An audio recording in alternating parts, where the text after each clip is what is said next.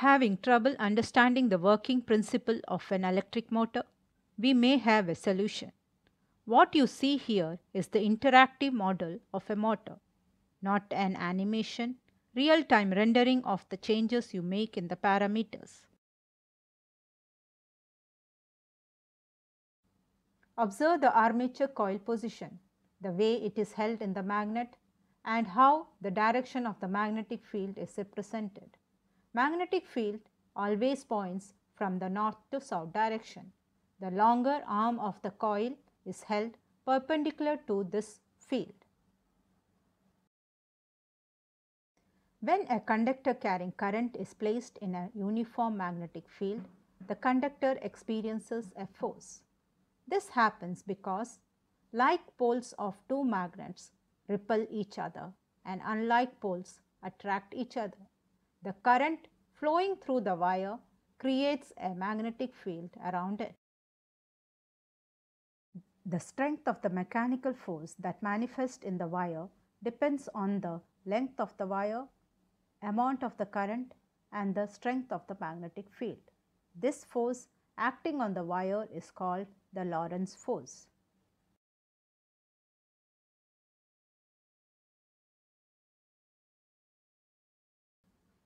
The direction of the force on the current carrying conductor that is placed in a magnetic field can be found by Fleming's left hand rule.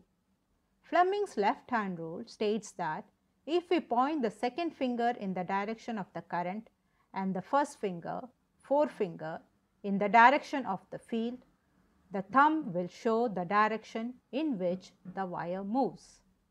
The conductor experiences maximum force when it is held perpendicular to the magnetic field and experiences no force when it is held parallel to the magnetic field.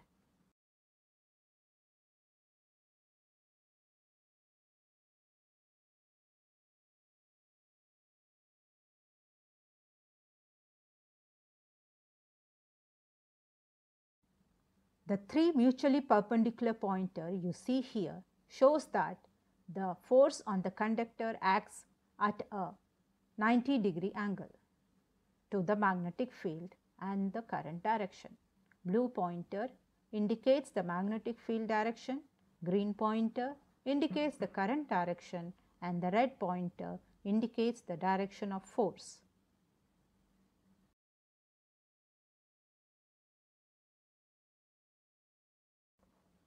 Change the magnet polarity as well as the current direction and visualize the effect of it on the conductor. The Fleming's left hand rule can be applied for all possible cases.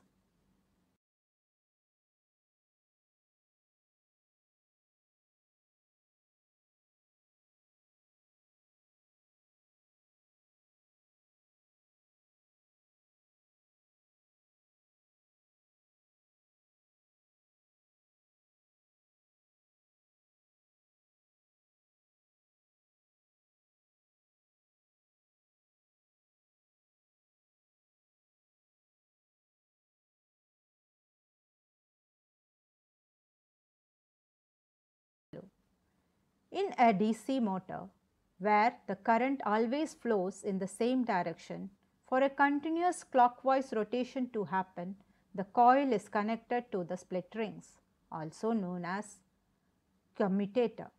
As the current flows through the coil held inside the permanent magnetic field, mechanical force given by Fleming's left hand rule acts on it and makes the coil rotate.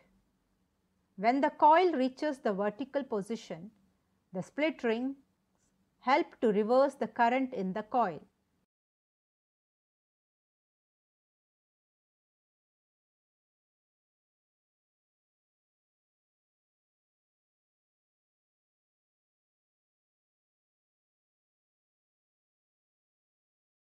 Electric current is fed into the split rings or the commutator through a pair of loose connectors called brushes made of soft carbon material.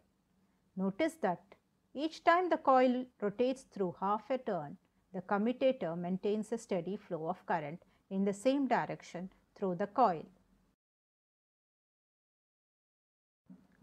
An electric motor contains multiple coils held in a permanent magnet. When electricity flows through it, the axle rotates, giving it the power to drive a machine. An electric motor thus converts electric energy into mechanical energy. Motors operate through the interaction between the magnetic field, the electric current flowing through the coil to generate the required force in the form of torque.